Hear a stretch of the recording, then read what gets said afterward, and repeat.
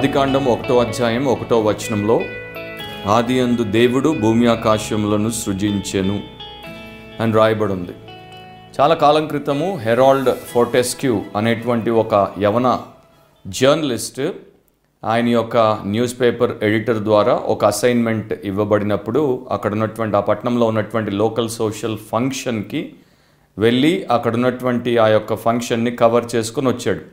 వచ్చిన తర్వాత కొత్త మురిపము లేకపోతే అప్పుడే ప్రారంభించినటువంటి వృత్తి కనుక జర్నలిస్ట్గా తనకున్నటువంటి శక్తిని యుక్తిని అంతటిని వినియోగించి రెండు డజన్ల కాగితాల నిండా ఆ యొక్క ఆర్టికల్ని రాసుకొని తీసుకొని వచ్చాడు ఎడిటర్ గదిలోనికి వచ్చి ఎడిటర్ చేతుల్లో దాన్ని పెట్టగానే ఆయన దాన్ని మరలా వెనక్కి ఇచ్చేసి కట్ ఇట్ ఇన్ హాఫ్ దీన్ని సగానికి తగ్గించేసేయి అని చెప్పాడు. సో హెరాల్డ్ ఆ కాగితాలను తీసుకొని వెనక్కి వెళ్ళిపోయాడు దాన్ని సగానికి తగ్గించాడు తీసుకుని వచ్చాడు. తీసుకుని వచ్చినప్పుడు మరలా ఎడిటర్ దాన్ని తీసుకొని ఇంకా సగానికి తగ్గించేయి అని చెప్పి మరలా వెనక్కి ఇచ్చేసాడు సో ఈసారి కూడా హెరాల్డ్ పోయేసి దాన్ని ఇంకా సగానికి తగ్గించుకుని చాలా కష్టపడి చేయాల్సిందంతా చేసుకుని వచ్చినప్పుడు ఎడిటర్ దాన్ని తీసుకొని ఇప్పుడు దీని అంతటిని కూడా ఒక్క సింగిల్ పేజీలోనికి తీసుకొని రా. లేకపోతే వన్ సింగిల్ పేజ్లోనికి దీన్ని కుదించు అని చెప్పినప్పుడు హెరాల్డ్కి ఇంక చాలా బాధ చాలా కోపము విసుగు అన్నీ వచ్చేసాయి. వచ్చినప్పుడు అతడు నేను ఇంత కష్టపడి దాన్ని రాసి తీసుకుని వస్తే మీరు ఆ రకంగా పూర్తిగా కట్ చేసేస్తున్నారు అని అన్నప్పుడు ఎడిటర్ గారు ఒక గంభీరమైనటువంటి మాట చెప్పారు. యవనస్తుడా నీవు నేర్చుకోవాల్సినటువంటి మొదటి పాఠం ఏంటంటే సృష్టికర్త అయినటువంటి దేవాది దేవుడు సృష్టి యావత్తును సృజించినప్పుడు దాని గురించి ఆయన వివరణ ఇవ్వాల్సి వచ్చినప్పుడు కేవలం పది పదాల్లో దాన్ని ఆయన తెలియచేశాడు. God gave the explanation of his creation just in ten words.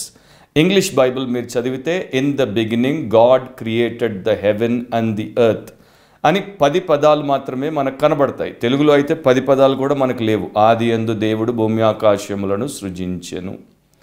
So ఈ పాఠము ఎడిటర్ ఆయనకి బలంగా నేర్పించేటువంటి ప్రయత్నం చేశాడు. మనము దేవుడి వాక్యంలో చాలా రకాలైనటువంటి విశిష్టతలను చూడొచ్చు. అండ్ మనకు ఒకవేళ మనస్సుండి మనము నిజంగా దేవుడి వైపు మొగ్గినటువంటి వారం మళ్ళినటువంటి వారం అయితే దేవుడి వాక్యంలో విపరీతముగా మనము నేర్చుకోవడానికి దేవుడు మనకు సహాయము చేస్తాడు. ఆదికాండం ఒకటో అధ్యాయము ఆరంభాలకు సంబంధించింది బిగినింగ్స్కి సంబంధించింది. అన్నిటి యొక్క బిగినింగ్ అక్కడే మనకు కనబడుతుంది. అన్నిటికీ బిగినింగ్ ఉంది కానీ దేవుడికి బిగినింగ్ లేదు దేవుడికి ఎండ్ లేదు. అన్నీ కూడా దేవుని చేత సృజించబడ్డాయి అని ఆదికాండంలో మనం చూస్తాం. నా ఆదికాండం ఒకటో అధ్యాయాన్ని మనం తీసుకున్నట్లయితే అక్కడ దేవుడు ఆయన యొక్క గొప్పతనం ఏంటో మనం చూడొచ్చు. అక్కడ దేవుడు ఆయన యొక్క మంచితనం ఏంటో మనం చూడొచ్చు. అక్కడ దేవుడు ఆయన యొక్క కృప బాహుల్యం ఏంటో మనం చూడొచ్చు. అక్కడ దేవుడు ఆయనకున్నటువంటి మహిమ స్వభావం ఏంటో మనం చూడొచ్చు. ఆ రకంగా ఇంకా చాలా విషయాలు ఉన్నాయి వాటిలోనికి నేను వెళ్ళట్లేదు. సో దేవుడు సమస్తమును సృజించాడు. దేవుడే సమస్తానికి మూలము అండ్ దేవుడే సమస్తానికి మొదటి కారణము. ఇంగ్లీష్లో ఫస్ట్ కాజ్ అని అంటారు. మొదటి కారణము అయి ఉన్నాడు. సో ఈరోజు మన అంశం ఏంటంటే ఇన్ ద బిగినింగ్ గాడ్ ఆది అందు దేవుడు లేకపోతే ప్రారంభములో దేవుడు లేకపోతే మొదట దేవుడు అనేటువంటి అంశాన్ని బ్రీఫ్గా మనము వినబోతున్నాం. దీంట్లో రెండు విషయాలు మనము గమనించాలి. ఒకటి ఫోకస్ ఆన్ గాడ్. ఆది అందు అండ్ ఆది కాందంలో బైబిల్ గ్రంథంలో దృష్టి అంతా కూడా దేవుడి మీద సారించబడింది. అందరి కన్నులు కూడా దేవుడి మీదకే వెళ్ళాలి అన్నట్టుగా దేవుడి వాక్యంలో దేవుడు దాన్ని రాయించాడు. నా బైబిల్లో మనము గమనించేటువంటి మొదటి మూల పాఠం ఏంటంటే the Bible does not debate about God but it declares about God's existence Bible దేవుడి యొక్క ఉనికిని గురించి ఎక్కడ కూడా డిబేట్ చేయదు దేవుడు ఉన్నాడు అన్న సత్యాన్ని డిక్లేర్ చేస్తుంది ప్రకటిస్తోంది. నిజానికి బైబిల్ గ్రంథంలో దేవుడి యొక్క ఉనికికి సంబంధించి అంటే గాడ్స్ ఎగ్జిస్టెన్స్కి సంబంధించి అనేక రకాలైనటువంటి ప్రూఫ్స్ మనకి కనబడతాయి. కానీ బైబిల్ ప్రత్యేకంగా పని కట్టుకొని దేవుడి యొక్క ఉనికిని నిరూపించడానికి లేకపోతే రుజువు చేయడానికి ప్రయత్నం చేయదు ఎందుకంటే దేవుడు ఉన్నాడు అండ్ దేవుడి ద్వారానే సమస్తము ఉన్నది అన్నటువంటి ఆ యొక్క ప్రిమైస్ ద్వారా ఆ యొక్క ప్రాథమిక సత్యము ద్వారానే బైబిల్ గ్రంథము మనకు అనుగ్రహించబడింది. కనుక ఎవరైనా సరే దేవుడి వైపు మళ్ళినటువంటి వారు విశ్వాసంలో ఉన్నటువంటి వారు దాన్ని ఆ రకంగానే చూస్తారు అంగీకరిస్తారు. కాకపోతే క్రైస్తవేతరులు అండ్ దేవునికి వ్యతిరేకులు అవిశ్వాసంలో ఉన్నటువంటి వారు దాన్ని ఆ రకంగా చూడలేకపోవడం వారి యొక్క బలహీనత ఆర్ వారికి ఉన్నటువంటి భక్తిహీనత బుద్ధిహీనత అన్నీ కూడా చెప్పచ్చు. సో దేవుడు ప్రపంచ దృష్టికోణం నుండి ఆలోచిస్తే అంటే వరల్డ్లీ వ్యూ పాయింట్ నుండి ఆలోచిస్తే మ్యాథమెటికల్ క్యాలిక్యులేషన్కి కానీ ఫిలసాఫికల్ ఆర్గ్యుమెంట్కి కానీ అందే వాడు కాడు. సో ఆయన చాలా ఉన్నతుడు మహోన్నతుడు. కనుక మనకున్నటువంటి పరిధి కలిగినటువంటి సంకుచితమైనటువంటి అది కూడా కలుషితమైపోయినటువంటి జ్ఞానము అండ్ వాదము శాస్త్రీయ పరిజ్ఞానం వీటిలో దేవుణ్ణి మనం పట్టుకొని దేవుణ్ణి తెలుసుకునే ప్రయత్నాల్లో ఎప్పుడు కూడా విఫలమే చెందుతాం కానీ దాంట్లో మనకి సాఫల్యత ఉండదు. ఒకవేళ దేవుడి వాక్యం దగ్గరికే మనం వచ్చేసామనుకోండి దేవుడి వాక్యము దేవుడి గురించి ఏ రకంగా చెప్తోంది అనేది నేను ఒక రెండు వచనాలు మీకు జ్ఞాపకం చేస్తాను. కీర్తన పంతొమ్మిది ఒకటో వచనంలో ఆకాశములు దేవుని మహిమను వివరించుచున్నవి అంతరిక్షము ఆయన చేతి పనిని ప్రచురపరచుచున్నది. సో సృష్టి దేవుడి యొక్క ఉనికి గురించి సృష్టి దేవుడు ఉన్నాడు అన్నటువంటి వాస్తవ సత్యాన్ని గురించి చాలా గొప్పగా సాక్ష్యం ఇస్తోంది దేవుడు చేసినటువంటిదే దేవుడి గురించి సాక్ష్యం ఇస్తోంది ఆయన చేతి పని ఆయన గురించి గొప్పగా గంభీరమైనటువంటి సాక్ష్యం ఇస్తోంది కనుక మనం ప్రత్యేకంగా ఇంకో రకమైనటువంటి ఆలోచన చేయాల్సిన అవసరం లేదు. రోమీలకు రాసినప్పుడు ఒకటో అధ్యాయంలో అపోస్తులైనటువంటి పౌలు దీని గురించే ప్రత్యేకంగా చెప్తాడు. ఎవరైనా సృష్టిని జాగ్రత్తగా స్టడీ చేస్తే వారికి అర్థమైపోతుంది. క్రియేషన్ వెనకాల ఒక గ్రేట్ క్రియేటర్ ఉన్నాడు.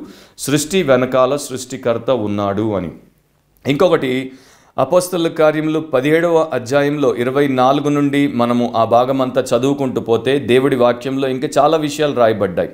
జగత్తును అందలి సమస్తమును నిర్మించిన దేవుడు తానే ఆకాశమునకును భూమికిని ప్రభువయున్నందున హస్తకృతములైన ఆలయములలో నివసింపడు అని రాయబడింది.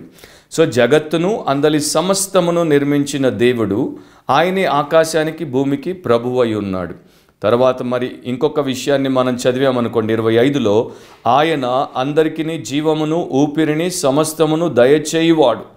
సో దేవుడే అందరికీ ప్రపంచంలో ఉన్నటువంటి నాస్తికులకు అస్తికులకు ప్రతి ఒక్కరికి అటు మనిషికి ఇటు జీవికి చలించేటువంటి ప్రతి చరానికి జీవాన్ని ఇస్తాడు అండ్ ఆయనే వాటికి ఊపిరినిస్తున్నాడు సమస్తాన్ని ఇస్తున్నాడు అంటే వాటి ప్రారంభం ఆయన ద్వారా వా- అవి ప్రబలడం ఆయన ద్వారా అండ్ అవి మరి అన్నింటినీ కలిగి ప్రయోజనకరంగా మారడం కూడా ఆయన ద్వారానే. ఆయనే సమస్తానికి మూలం. ఇరవై ఎనిమిదో వచనంలో రాయబడింది మనం ఆయన ఎందు బ్రతుకుచున్నాం చలించుచున్నాం ఉనికి కలిగి ఉన్నాం. ఆయన ఉన్నాడు కనుక మనం ఉన్నాం. ఆయన లేడు అంటే మనము లేం. మొదటి తెస్సలోనిక ఒకటో అధ్యాయంలో అన్య జనాంగంగా ఉండి దేవుడిని చాలా కాలం ఎరుగక చీకట్లో కొట్టుమిట్టాడి ఆ తర్వాత ఆయన కుమారుడైనటువంటి యేసుక్రీస్తు యొక్క కృపను బట్టి రక్షించబడి జీవం గల దేవుడి వైపు తిరిగినటువంటి వారికి అపోస్తులైనటువంటి పౌలు ఏమని రాశాడో ఆ భాగాన్ని మాత్రమే నేను చదువుతాను. మరియు మీరు విగ్రహములను విడిచిపెట్టి జీవము గలవాడును సత్యవంతుడునగు దేవునికి దాసులగుటకును అని రాశాడు. సో అలాంటి పరిస్థితి నుండి ఇలాంటి పరిస్థితులను వారు వచ్చారు. కనుక ఇక్కడ మనం గమనించాల్సినటువంటి మొదటి విషయం ఏంటంటే దృష్టి అంతా కూడా దేవుడి మీద ఉంది. ఫోకస్ అంతా కూడా దేవుడి మీద ఉంది. ఆది కాండమును ఒకటో అధ్యాయాన్ని మీరు ఒకవేళ తెలుగులో చదివితే ప్రతి సెంటెన్స్లో యాక్చువల్గా తరచు మాటి మాటికి దేవుడు అనే పదం మనకు కనబడుతుంది. తెలుగు బైబిల్లో నేను లెక్కిస్తే ముప్పై సార్లు దేవుడు అనేటువంటి పదాన్ని మనం చదవచ్చు. ఇంగ్లీష్లో ముప్పై కన్నా ఎక్కువ ముప్పై మూడు కొన్ని సందర్భాల్లో ముప్పై ఐదు కొన్ని ట్రాన్స్లేషన్స్ ప్రకారము మనకు దేవుడు అనేటువంటి పదము కనబడుతుంది. సో మొదట్లోనే దేవుడు తన ప్రజలకు ఏ సందేశం ఇస్తున్నాడు అంటే ఆయనే మొదటివాడు ఆయనే ముఖ్యమైన వాడు. ఆయనను తెలుసుకోవాలి అనుకున్నటువంటి వారు నిరంతరం వారి జీవితం అంతా కూడా దృష్టిని ఆయన మీదే పెట్టాలి. ఫర్ ఎగ్జాంపుల్ విశ్వాసులైనటువంటి క్రైస్తవులకు ఏమని చెప్పబడింది? విశ్వాసమునకు కర్త దానిని కొనసాగించేవాడైన క్రీస్తు యేసు వైపు చూచుచ్చు అని మనకు రాయబడింది. సో మన మనోనేత్రాలు తెరవబడి విశ్వాస సంబంధమైనటువంటి జీవితంలో నిరంతరము దేవుడినే మనము చూచేవారముగా ఉండాలి. ఆదికాండం ఒకటో అధ్యాయంలోనే మనం చూస్తే దేవుడు పలికాడని దేవుడు వేరు చేశాడని దేవుడు చూచాడని దేవుడు నియమించాడని దేవుడు మరలా సృజించాడని దేవుడు ఆశీర్వదించాడని ఇవన్నీ కూడా మనకు అనేక రూపాల్లో దేవుడి వాక్యం వివరిస్తోంది. సో ఎక్కడ చూసినా కూడా దేవుడు దేవుడు దేవుడు సమస్తము దేవుడు దేవుడి వలననే జరిగింది అనేది మనకు నేర్పబడుతుంది. So there is one living God who did everything ఒకే జీవము గల దేవుడు సమస్తాన్ని చేశాడు. జాన్ హ్యాల్డోనీ అనేటువంటి ఒక శాస్త్రవేత్త ఒకసారి తన సహచరుడైనటువంటి ఇంకొక వ్యక్తితో మాట్లాడుతున్నాడు. ఆయన పేరు నాక్స్. నాక్స్తో మాట్లాడుతూ ఏమన్నాడంటే మిలియన్ల ప్లానెట్లు ఉన్నాయి అంటే లక్షల కొలది ఈ యొక్క గ్రహాలు ఉన్నాయి విశ్వంలో. కనుక ఎక్కడో ఇక జీవం అనేది ఉండుట అనివార్యము. కనుకనే ఇక్కడ మనకు ఆ రకమైనటువంటి ఏర్పాటును మనం చూస్తున్నాం. అన్నప్పుడు నాక్స్ అతన్ని ఇంకో రకంగా మరి తిరిగి ప్రశ్నించాడు. ఒకవేళ మీ యొక్క ట్రక్లో అంటే మీ యొక్క కారు ట్రక్లో వెనకాల ఒక శవం దొరికిందనుకోండి. అప్పుడు స్కాట్లాండ్ యార్డ్ పోలీసు వారు దాన్ని చూసినప్పుడు వారు ఏమాత్రం మీరు అనుకున్నట్టు అనుకోరు. ప్రపంచంలో ఎన్నో కారు ట్రక్కులు ఉన్నాయి కదా అలాగే ఎక్కడో ఒక చోట ఒక శవం ఉండడం అనివార్యం కదా అనేసి వారు ఊరికే వదిలిపెట్టరు. మీ కారులో ట్రక్కులో శవం ఎప్పుడైతే దొరికిందో వారికి వచ్చే మొదటి ప్రశ్న ఏంటంటే దాన్ని అక్కడ ఎవరు పెట్టారు? ఎన్నో లక్షల గ్రహాలు ఉన్నాయి కనుక దేంట్లోనూ ఒక దాంట్లో జీవం ఉండుట అనివార్యం అన్నది కాదు ఇక్కడ విషయం. ఆ జీవాన్ని ఆ గ్రహంలో ఎవరు పెట్టారు అన్నది ప్రాముఖ్యమైనటువంటి విషయం అని చక్కగా మరి ఆయన బుర్ర వేడెక్కిపోయే రీతిలో జవాబిచ్చాడు. నా ఇక్కడ జీవం ఉంది ఇక్కడ జీవానికి కావలసినటువంటి ప్రతి విధమైనటువంటి సదుపాయం ఉంది అంటే దాన్ని దేవుడు చేశాడు. ఆది అందు దేవుడు భూమి ఆకాశములను సృజించెను. వాటిలో ఉన్నటువంటి సమస్తమును సృజించెను కనుకనే. సో ఈ సత్యము కొన్ని అబద్ధపు విషయాలను లేకపోతే అబద్ధ సత్యాలను లేకపోతే లోక సంబంధమైనటువంటి దైవ వ్యతిరేకమైనటువంటి సిద్ధాంతాలను ఈ ఫాల్స్ బిలీఫ్స్ కావచ్చు లేకపోతే ఫిలాసఫీస్ కావచ్చు వాటిని రెఫ్యూట్ చేస్తుంది అంటే వాటిని పూర్తిగా తిప్పికొట్టేస్తుంది వాటిని పూర్తిగా తుడిచిపెట్టేస్తుంది. అలాంటి వాటిలో కొన్నింటిని నేను మీకు జ్ఞాపకం చేస్తాను. ఈ రోజున మనకి స్కూల్స్లో కాలేజెస్లో యూనివర్సిటీస్లో వర్క్ స్పేసెస్లో విస్తృతంగా మీడియా ప్లాట్ఫామ్స్లో ఎక్కువ మంది మాట్లాడేది ఆలోచించేది ఏంటి అంటే ఏథియిజం నాస్తికవాదం దేవుడు లేడు అనేటువంటి ఒక సిద్ధాంతం. బైబిల్లో దేవుడు చెప్పాడు బుద్ధిహీనుడు తన హృదయంలో దేవుడు లేడు అని అనుకుంటాడు. ఇక్కడ ఆదికాండం ఒకటో అధ్యాయంలో దేవుడు అనేటువంటి పదంతోనే అంతా ప్రారంభమవుతోంది. కనుక నాస్తికవాదాన్ని ఆదికాండంలో దేవుడు మొదట కొట్టివేశాడు. అది మొదటి విషయం. రెండవది ఏంటి రెండవది పాలిథియిజం. ప్రపంచంలో దాదాపు రెండు వందల పైచిలకు దేశాలు ఉన్నాయి ఎంతో. మరి పాపులేషన్ ఇప్పుడు ఏడు వందల డెబ్బై కోట్లు దాటిపోయింది. అనేక జాతుల వారు అనేక మతాల వారు అనేక సంస్కృతుల వారు అనేక నాగరికతలు కలిగినటువంటి వారు ప్రపంచవ్యాప్తంగా మనకి మనుషులు కనబడుతున్నారు. సో వీళ్ళు రకరకాలైనటువంటి ఆచారాలతో రకరకాలైనటువంటి ఆత్మీయ అభ్యాసాలతో వారి జీవితాలు కొనసాగిస్తున్నారు. కనుకనే మనకి ప్రపంచంలో పాలిథియిజం అనేది వచ్చింది. బహుదేవత ఆరాధన. దేవుడు ఒక్కడుగాడు అనేక దేవుళ్ళు దేవతలు ఉన్నారు మాకు మా దేవుడు ఉన్నాడు మీకు మీ దేవుడు ఉన్నాడు వారికి వారి దేవుడు ఉన్నాడు వీరికి వీరి దేవుడు ఉన్నాడు ఇది మన ప్రపంచపు సెటప్ అనమాట కానీ ఆదికాండంలో దేవుడు చేసినటువంటి మరో గొప్ప విషయం ఏంటంటే there is only one God దేవుడు ఒక్కడే. అండ్ ఇంతమంది దేవుళ్ళు దేవతలు లేరు. దాని గురించే మనకి మొదటి తిమోతి రెండులో కూడా రాయబడింది. దేవుడొక్కడే దేవుడికి మనుషులకు మధ్యలో మధ్యవర్తి కూడా ఒక్కడే. ఆయనే యేసుక్రీస్తు. అనేటువంటి ఆ విమోచకుడు అని బైబిల్ మనకి చెప్తోంది. మూడవది ఏంటి ఎవల్యూషన్. ఎవల్యూషన్ అంటే నా ఇప్పుడు అంతా కూడా ఏ రకంగా ప్రారంభమైంది అన్న దాని గురించి మనకి గత రెండు వందల సంవత్సరాలుగా ప్రపంచంలో మరి చాలా పెద్దగా ఒక సిద్ధాంతాన్ని వారు పుట్టించారు. దాన్ని పెంచుకుంటూ పోషించుకుంటూ వచ్చారు. జీవ పరిణామ సిద్ధాంతం అంటారు. చార్ల్స్ డార్విన్ ద్వారా వచ్చినటువంటి సిద్ధాంతం. పద్దెనిమిది వందల సంవత్సరాలు క్రీస్తు కాలం నుండే మనం తీసుకుంటే అదేంటో ఎవరికి తెలియదు. ఎయిటీన్త్ సెంచరీలో మరి ఎన్లైటన్మెంట్ ఎరా అంటారు. అంటే ప్రపంచంలో జ్ఞానోదయం అనేది కలిగింది. కొంతమంది మేధావులు ప్రపంచాన్ని అంధకారము నుండి ఒక గొప్ప జ్ఞాన ప్రకాశంలోనికి లేకపోతే వెలుగులోనికి నడిపించారు అన్నది ప్రపంచం అంతటికి చరిత్ర చెప్తోంది కనుక ఆ టైంలో వచ్చినటువంటి ఒక పరిణామమే ఈ యొక్క ఎవల్యూషన్ కానీ అదేమంటుంది? అంతటికి మూలము అంతటికి కారణము ఇది అని అది చెప్తుంటే అది ఇవాల్వ్ అయింది అని లేకపోతే ఈ రకంగా ఆ రకంగా వచ్చింది అని వారు చెప్తుంటే ఇక్కడేమో బైబిల్ ఏం చెప్తోంది? ఆది అందు దేవుడు భూమి ఆకాశములను సృజించెను. ఆయన మాత్రమే చేశాడు మరొకటి మరొకరు చేయలేదు చెయ్యరానిది అని హీబ్రూలో రాయబడినటువంటి సత్యం. సో అది ఎవల్యూషన్ని కూడా కొట్టేస్తుంది. తర్వాత మనకి ఇంకేముంది? ప్యాంథీయిజం అంటారు. మన దేశంలో కూడా దీన్ని చాలామంది నమ్ముతారు. ప్యాంథీయిజం అంటే సర్వం దైవం. అంతటా దేవుడున్నాడు అన్నింటిలో దేవుడున్నాడు అందరిలో దేవుడున్నాడు. నేను నిన్ను చూస్తే నీలో నేను దేవుడిని చూడాలి నీవు నన్ను చూస్తే నాలో నీవు దేవుడిని చూడాలి. నేను నీకు నమస్కారం చేస్తే నీలో ఉన్నటువంటి దేవుడికి నమస్కరిస్తున్నాను వైస్ వర్స. నా ఇక్కడ బైబిల్ మనకేం చెప్తుందంటే దేవుడు అందరికన్నా పైవాడు అందరికన్నా అన్నిటికన్నా ప్రత్యేకముగా ఉన్నవాడు అన్నింటిలో అందరిలో భాగముగా లేడు. ఆయన పోలికలో నరుడు చేయబడ్డాడు కానీ ఆయన ఆ యొక్క నరుడిలో అండ్ ఆ యొక్క జీవిలో ఆ యొక్క చెట్టులో పుట్టలో గట్టులో రాయిలో అన్నింటిలో ఆయన ఉన్నాడు. సర్వం దైవం ప్రతిదీ దేవుడే అనేటువంటి సిద్ధాంతాన్ని దేవుడు కొట్టిపారేశాడు. God is always separate and God is always secluded from his creation ఆయనలో రెండు లక్షణాలు ఉన్నాయి. ఒకటి ట్రాన్సెండెన్స్ అంటే ఆయన యొక్క సృష్టికి అవతల ఉన్నటువంటి వాడు. రెండవది ఇమనెన్స్ అంటే ఆయన సృష్టికి అందుబాటులో ఉన్నవాడు.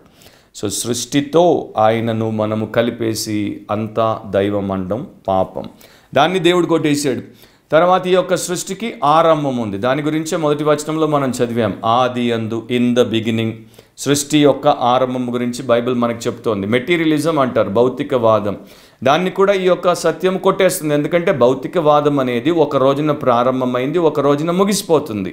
వస్తువుకు ఒక date of manufacture or manufacturing date ఉంటుంది ఎక్స్పైరీ డేట్ ఉంటుంది. అదే ప్రకారము మెటీరియలిస్టిక్ వరల్డ్ వ్యూకి కూడా అదే గతి పడుతుంది అనేది దేవుడి వాక్యం మనకు నేర్పుతుంది. ఇంకో విషయాన్ని చివరి మాట కూడా చెప్తాను. ఈ యొక్క సృష్టికి ఒక ఉద్దేశం ఉంది ఒక సంకల్పం ఉంది పర్పస్ ఉంది. అది ఇంకొక విపరీతమైనటువంటి వాదాన్ని కొట్టేస్తుంది నాశనం చేస్తుంది. ఆ వాదం ఏంటంటే ఫ్యాటలిజం ఫేటలిజం అంటే కొంతమంది యవనస్తులు మధ్య వయస్కులు ముసలివారి రకంగా మాట్లాడుతుంటారు. మా జీవితం ఇంతే మా బతుకు ఇంతే మా తలరాతి ఇంతే దేవుడి విధి ఇంతే అండ్ మాకున్న కర్మ ప్రకారం మేము పోతున్నాం అని ఏమి చేయకుండా నిర్వీర్యం అయిపోతారు. ఇది కూడా తప్పు. దేవుడు ఒక ఉద్దేశంతో సృష్టిని చేశాడు. ఆ ఉద్దేశాన్ని నెరవేర్చడానికి కోసమే ఆయన పనిచేస్తున్నాడు. మనం ఆయనకి లోబడితే అది మన ద్వారా కార్యసాధకం చేస్తాడు అనేవన్నీ కూడా ఇంకా చాలా ఉన్నాయి. వాటిలోనికి నేను వెళ్ళట్లేదు. అవన్నీ కూడా ఇక్కడ మనకి బైబిల్ చెప్తోంది. ఫ్రెడ్రిక్ ద గ్రేట్ ఆయన యొక్క కోర్టులో అంటే ఆయన యొక్క సభలో ఆయనకు ఒక సేవకుడు అవసరమయ్యాడు. సో ఆయన ఒక వింతైనటువంటి పరీక్షను పెట్టాడు. కొంతమంది సేవకులుగా ఉన్న వారిని ఎంపిక చేసి వారందరికీ ఒక పరీక్ష పెట్టాడు. వారిని అందరినీ కోర్టులో హాజరు చేసిన తర్వాత ఒక్కొక్కరికి వాక్యమును చెప్పే అవకాశం ఇచ్చి ఈ వారిలో ఎవరు ఆయనకి సరిగా నచ్చుతారో వారిని ఆయన యొక్క కోర్టు చాప్లైన్గా పెట్టుకోవాలని నిర్ణయించుకున్నాడు. సో ఒక సేవకుడు వచ్చినప్పుడు పనివాడు అంటే అక్కడ ఉన్నటువంటి సైనికుడు ఆయన చేతిలో ఒక కవర్ పెట్టాడు. ఆ కవర్ తీసుకొని ఆయన పుల్పెట్ దగ్గరికి వచ్చి నిలబడ్డాడు. అప్పుడు కవర్ తీసి దాంట్లో ఏముందో దాని ప్రకారం ఆయన ప్రకటన చేయాలి వాక్యం చెప్పాలి. కవర్ తీసి కాగితాన్ని చూస్తే పైన అంతా ఖాళీగా ఉంది. సో ప్రజల వైపు రాజుగారి వైపు చూపిస్తూ చెప్పాడు దెర్ ఈజ్ నథింగ్ హియర్ ఇక్కడ ఏమీ లేదు. తర్వాత రెండో వైపు తిప్పితే అది కూడా ఖాళీగా ఉంది. మరలా అందరికీ చూపిస్తూ చెప్పాడు there is nothing here so ముందు ఏమీ లేదు వెనక ఏమీ లేదు. అని చెప్పిన తర్వాత ఆయన ప్రసంగాన్ని ప్రారంభించాడు. God created everything out of nothing అని. దేవుడు సమస్తమును శూన్యము నుండి సృజించాడు. లేని వాటిని ఉన్నవాటిగా చూచువాడు లేని దానిలో నుండి ఉన్నదాన్ని కలిగించాడు అని చెప్పి అద్భుతంగా దేవుని యొక్క శక్తిని గురించి దేవుని యొక్క సృష్టిని గురించి ఆయన యొక్క గొప్ప ఆవిష్కారాన్ని గురించి ఆయన బోధ చేసి కూర్చున్నాడు. ఫ్రెడ్రిక్ ద గ్రేట్కి ఆయన్ని తన యొక్క సేవకుడిగా నియమించుకోవాలని వెంటనే అనిపించింది నియమించేశాడు. సో మొదటి విషయం ఏంటంటే ఫోకస్ ఆన్ గాడ్. దేవుడిని చూడగలిగే వారు ఏమి ఎక్కడ ఎలా ఉన్నా కూడా వారు దాంట్లో దేవుడి యొక్క హస్తాన్ని చూస్తారు. రెండో విషయం ఏంటి? ఫ్లరిష్ ఫర్ గాడ్ దేవుని కొరకు వర్ధిల్లుట దేవుని కొరకు మనము ఫలించుట. ఈ ఆదికాండం ఒకటో అధ్యాయంలో ఇరవై ఆరు నుండి ఇరవై ఎనిమిది వరకు నేను చదువుతున్నాను. దేవుడు మన స్వరూపమందు మన పోలిక చొప్పున నరులను చేయుదుము. వారు సముద్రపు చేపలను ఆకాశ పక్షులను పశువులను సమస్త భూమిని భూమి మీద ప్రాకు ప్రతి జంతువును ఏలుదురుగాక అనియు పలికెను. దేవుడు తన స్వరూపమందు నరుని సృజించెను. దేవుని స్వరూపమందు వాని సృజించెను. స్త్రీని గాను పురుషుని గాను వారిని సృజించెను. దేవుడు వారిని ఆశీర్వదించును. ఎట్లనగా మీరు ఫలించి అభివృద్ధి పొంది విస్తరించి భూమిని నిండించి దానిని లోపరుచుకొనుడి. సముద్రపు చేపలను ఆకాశ పక్షులను భూమి మీద ప్రాకు ప్రతి జీవిని ఏలుడని దేవుడు వారితో చెప్పాను. దీంట్లో ప్రతి పదము ఒక ఆత్మీయ ఆనిముత్యం. చాలా గంభీరమైనటువంటి విషయాలతో కూడుకున్నటువంటి వచనాలు అవి కాకపోతే చాలా ప్రాథమికమైనటువంటి విషయాన్ని మాత్రమే నేను ఇక్కడ చెప్తున్నాను. అదేంటంటే దేవుడు తన పోలికలో తన స్వరూపమందు నరుణ్ణి చేశాడు. ఒకే ఒక వ్యత్యాసంతో చేశాడు. పురుషునిగా స్త్రీగా చేశాడు. అందుకనే బైబిల్ ప్రకారము కులము అనేది లేదు. బైబిల్ ప్రకారము మానవుల మధ్యలో హెచ్చుతగ్గులు తేడాలు వ్యత్యాసాలు అనేవి లేవు ఉండకూడదు. దేవుని పోలికలో ఇద్దరు చేయబడ్డారు అండ్ దేవుని కొరకు ఇద్దరు చేయబడ్డారు. నరుణ్ణి దేవుడు చాలా ఉన్నతమైనటువంటి జీవిగా చేశాడు అండ్ గొప్ప ఆధిక్యతలతో చేశాడు. గొప్ప ఆశీర్వాదంలో అతన్ని ఆమెను ఉంచడానికి చేశాడు. నిజానికి ఒక బ్యూటిఫుల్ అండ్ బౌంటిఫుల్ ఎన్వైరన్మెంట్లో అంటే చాలా అందమైన అండ్ చాలా విస్తృతమైనటువంటి వాతావరణంలో సమస్తాన్ని వారి కొరకు ఆయన సమకూర్చిన తర్వాత వారిని దాంట్లో ఆయన పెట్టాడు. దీంట్లో దేవుడు ఎంత మంచివాడు అండ్ దేవుడి యొక్క ఆలోచన ఎంత ఉన్నతమైనది ఆయన తన యొక్క ప్రణాళిక కొరకు ప్రజల్ని రచించినప్పుడు సృష్టించినప్పుడు వారిని ఏ రకంగా ఏ స్థాయిలో చూశాడు ఏ స్థాయికి తీసుకెళ్ళదలిచాడు ఇవన్నీ కూడా మనకు ఆలోచించి ధ్యానిస్తే అర్థమవుతాయి. సో ఆ ప్రకారం దేవుడు వారిని తయారు చేసి సృష్టి యావత్తు మీద తలమానికంగా పెట్టి అన్నింటినీ వారి కింద అధికారంలో ఉంచుకుని ఏలమని చెప్పాడు. ఫలించమని చెప్పాడు విస్తరించమని చెప్పాడు అభివృద్ధి పొందమని చెప్పాడు జయించమని చెప్పాడు. సో ఇంత గొప్ప ఆధిక్యతను దేవుడిస్తే ఆ మొదటి మానవులు ఆదాము అవ్వలు దేవుడి ఆజ్ఞను అతిక్రమించి వారు అపరాధులుగా మారి అపజయాల పాలై అధోపాతాలానికి తొక్కివేయబడ్డారు.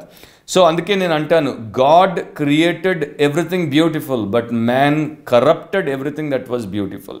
దేవుడు సమస్తాన్ని అందమైనదిగా సృష్టిస్తే మానవుడు సమస్త అందమైన దాన్ని వికృతమైన దానిగా చెడగొట్టి పారేశాడు. అందుకనే ఈ రోజున మన జీవితాలు ఈ రకంగా ఇలాంటి పరిస్థితుల్లో పరిణామాలు ఎదుర్కోవాల్సి వస్తుంది. అయినా కూడా దేవుడికి స్తోత్రం చెప్పాలి. ఎందుకంటే తన కుమారుడైనటువంటి యేసుక్రీస్తు ద్వారా లోక విమోచన కొరకు లోక కళ్యాణం కొరకు ఆయన రెండు వేల సంవత్సరాల క్రితమే అద్భుతమైనటువంటి కార్యం చేశాడు. క్రీస్తు పాపం లేకుండా జన్మించాడు. సమస్తములో దేవుడి యొక్క ఆజ్ఞను గైకొన్నాడు. అందరి కోసం ఆ సిల్వలో ఆయన పాపి యొక్క స్థానాన్ని తీసుకొని పాపికి బదులుగా పాపాన్ని భరించి దాని శిక్షను ఆయన అనుభవించి దాని మూల్యముగా తన ప్రాణమును క్రయధనంగా చెల్లించి దాన్ని కడగడానికి తన పవిత్ర రక్తాన్ని చిందించి చనిపోయాడు సమాధి చేయబడ్డాడు మూడవ రోజున తిరిగి లేచాడు. సో విమోచన కార్యాన్ని సంపూర్ణం చేశాడు. కనుక దేవుడి దగ్గరికి మరలా మనం వెళ్ళడానికి విమోచించబడ్డానికి వాడబడ్డానికి అవకాశాన్ని తెరిచాడు. క్వీన్ ఎలిజబెత్ ఒకసారి లార్డ్ బేకన్ అనేటువంటి తన మరి ఒక గనుని ఇంటికి ఒక నోబుల్ పర్సన్ ఇంటికి వచ్చింది. హర్ట్ఫోర్డ్ అనేటువంటి ప్రాంతంలో ఆయన ఉన్నప్పుడు వచ్చింది. ఆమె ఆయనను ఇంగ్లాండ్ యొక్క ఛాన్సలర్గా నియమించింది. సో ఆయన ఇంటికి వచ్చినప్పుడు ఆయనతో కాసేపు ఉన్నప్పుడు రాణి ఆయన్ని ఈ రకంగా చెప్పింది. ఆయన ఇంటిని ఆయన్ని చూసి ఈ రకంగా అంది. మీలాంటి గొప్ప వ్యక్తికి ఈ ఇల్లు చాలా చిన్నది. వెంటనే ఆయన లార్డ్ బేకన్ ఆమెతో ఈ రకంగా అన్నాడు మేడం అది చక్రవర్తిని అయినటువంటి మీ తప్పిదమే. ఎందుకంటే నన్ను మీరు ఈ ఇంటికి చాలా పెద్దవానిగా చేసేసారు సో ఆమె ఏమందో మీరు ఆలోచించండి ఆయన ఏమంటున్నాడో మీరు ఆలోచించండి. ఆమె ఏమంది మీకు ఈ ఇల్లు చాలా చిన్నది అంది.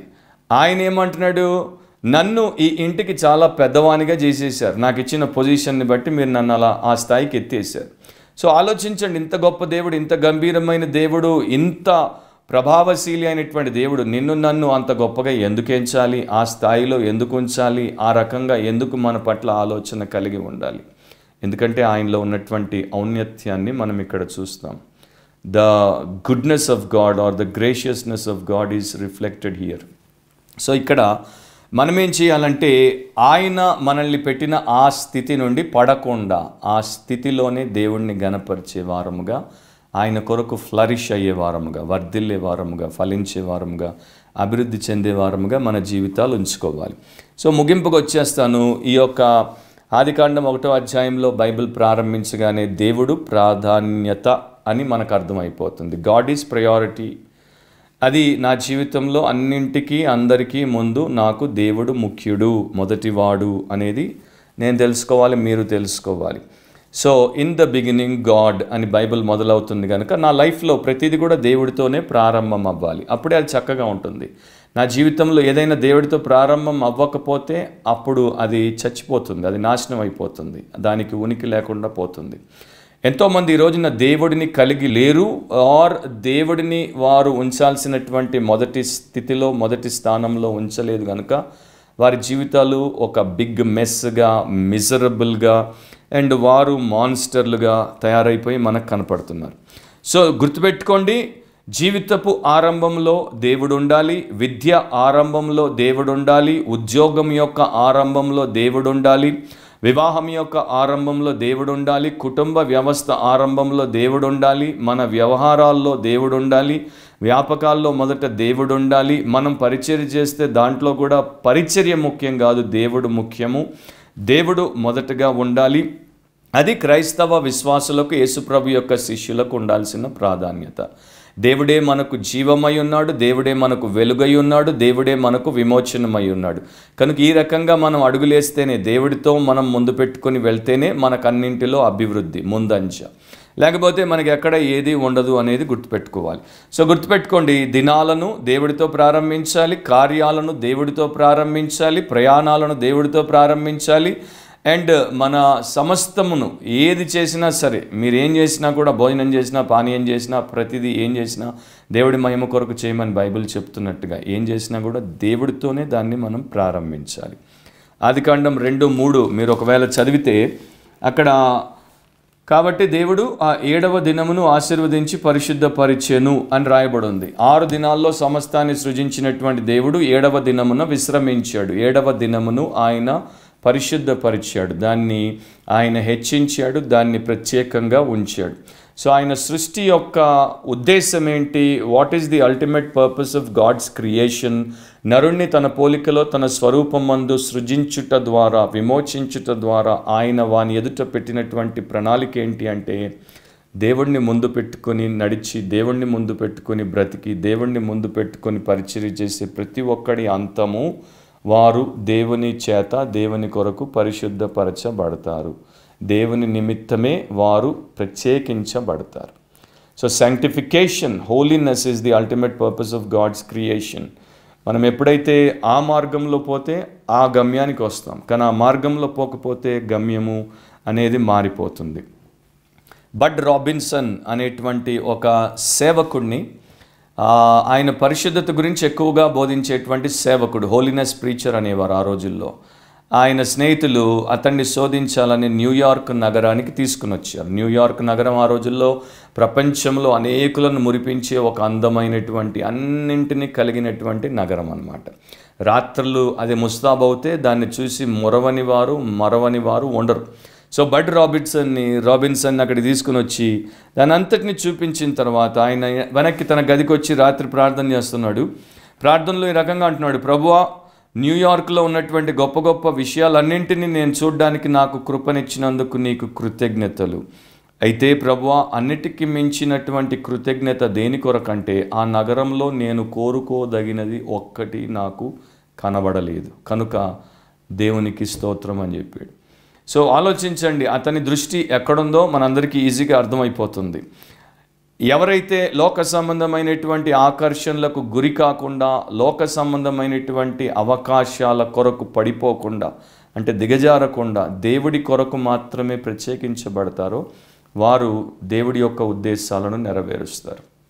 ఇప్పుడు లోకం గురించి వదిలేద్దాం. క్రైస్తవ సమాజం గురించి మీరు ఆలోచిస్తే క్రైస్తవ సమాజము ఎంత దారుణంగా దెబ్బతిన్నది ఎంత దారుణంగా దిగద దిగజారింది అంటే సృష్టికర్తను వదిలేశారు. సృష్టికర్త మీద నుండి దృష్టి మరలిపోయింది సృష్టికర్త మీద నుండి ధ్యాస మరలిపోయింది సృష్టికర్త మీద నుండి ధ్యానం మరలిపోయింది. సృష్టికర్తను వదిలి సృష్టి మీద దృష్టి పెట్టారు సృష్టి మీద ధ్యాస పెట్టారు సృష్టి మీద ధ్యానం పెట్టారు. ఎర్త్ ఈ లోకము లోకం యొక్క ఆఫర్స్ అది ఇచ్చేటువంటి అంశాలు. ఎంతసేపు? వీటి మీదే. ఉదయం నుండి రాత్రి వరకు చిన్నతనము నుండి ముసలితనం వరకు వారి జీవిత వ్యాపకాలు వ్యవహారాలు విషయాలన్నీ దీనికే. సో ఇది దేవుడికి ఎంత అవమానకరమైనటువంటి విషయం. మీరు ఆలోచించండి. మీకు అందరికీ వివేకం ఉంది. మీలో కొంతమందికి వాక్యము తెలుసు. కనుక మీరు ఆలోచించండి. మనిషి ఈ లోకాన్ని లోక సంబంధమైనటువంటి విషయాలను ప్రేమించి వాటి కోసం పతనానికి దారితీస్తున్నా కూడా ఇబ్బందిగా అనుకోకుండా దిగజారిపోతూ వీటన్నిటికీ మూలమైనటువంటి దేవుణ్ణి విడిచిపెట్టడం విస్మరించడం ఎంత దారుణమైన ఘోరమో నేరమో ఆలోచించండి. సో క్రిస్టియన్ చర్చ్లో క్రిస్టన్డమ్లో లిప్ సర్వీస్ ఇచ్చేటువంటి వారు ఎక్కువ. అండ్ వారి యొక్క జీవితాలు చూసినప్పుడు సమ్టైమ్స్ నాకే విపరీతమైన విసుగు కోపము వ్యధ బాధ అన్నీ కలుగుతాయి. వారు వారు చేసేటువంటి తీర్మానాలను బట్టి వారు తీసుకునేటువంటి నిర్ణయాలను బట్టి వారికి ఉన్నటువంటి కోరికలను బట్టి వారికి ఉన్న ప్రాధాన్యతలను బట్టి వారి జీవిత విధానాలను బట్టి ఏది ముఖ్యమో ఎవరు ముఖ్యమో చాలా ఈజీగా చెప్తారు. వారి జీవితంలో దేవుడు మనకి మొదట కనపడడు ముఖ్యుడిగా కనపడడు. వారే మొదట వారే ముఖ్యులు వారి ఇష్టమే అన్నింటికన్నా పైన ప్రాధాన్యతను కలిగి ఉంటుంది. సో ఇలాంటి వారు మనకి ఎక్కువగా ఈ రోజున కనపడుతున్నారు. అలాంటి దుర్దశలో మనం ఉండుట అది మనకున్నటువంటి ఒక పీడ అని మనం చెప్పాలి. చాలా తక్కువ మంది లైఫ్ సర్వీస్ని దేవుడికి ఇస్తారు వీరే నిజముగా బైబిల్లో రాయబడినట్టు లివింగ్ సాక్రిఫైస్గా ఉంటారు.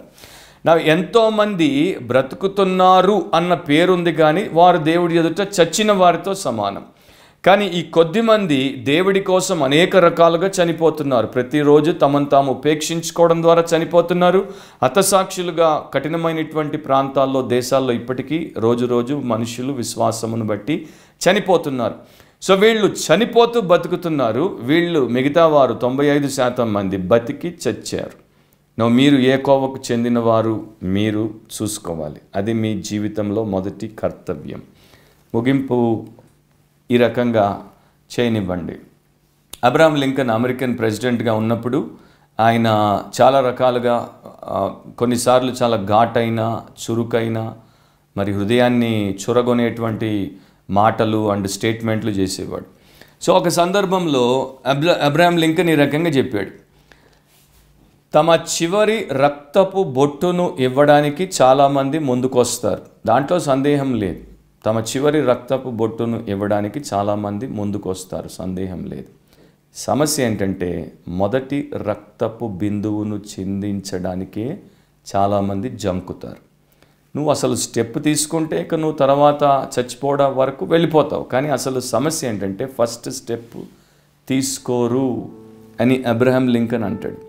సో దీంట్లో ఆయన మనకి చెప్పేది ఏంటంటే నీవు దేవుని కొరకు మొదటి అడుగు వేస్తేనే తుది వరకు వెళ్ళగలవు. దేవుడి మీద దృష్టి పెడితేనే దేవుడి వలన దీవించబడి వర్ధిల్లగలుగుతావు.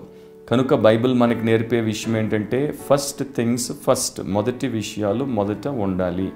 నీవు ఆయన పోలికలో ఆయన చేత సృజించబడిన వ్యక్తివైతే మొదట నీవు పాప క్షమాపణ పొందాలి మొదట నీ ఆత్మ రక్షణ పొందాలి మొదట నీవు క్రీస్తునందు నూతన సృష్టిగా చేయబడాలి మొదట నీవు ఆయన శిష్యునిగా శిష్యురాలిగా మారాలి.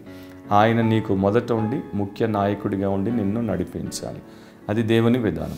జీసస్ గురించి ఊరికే మాట్లాడడము జీసస్ గురించి ఊరికే పాడడము జీసస్ గురించి ఊరికే ప్రార్థనలు ప్రసంగాలు ఇవన్నీ కూడా ఒకవైపు Jesus in the beginning of your life if is the Lord and if is the master and if is the mentor and if is leading you then you can have value for all of this. అప్పుడు వీటన్నిటికి నీ జీవితంలో విలువ ఉంటుంది లేకపోతే ఉండదు.